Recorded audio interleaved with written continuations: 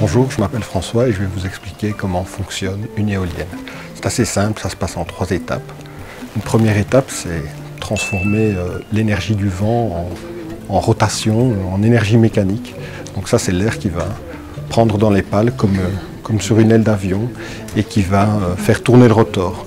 Plus la pale est grande et plus la pale est bien profilée, plus on va collecter d'énergie. Dans une deuxième étape, on va transformer l'énergie mécanique en énergie électrique. Ça, c'est assez facile.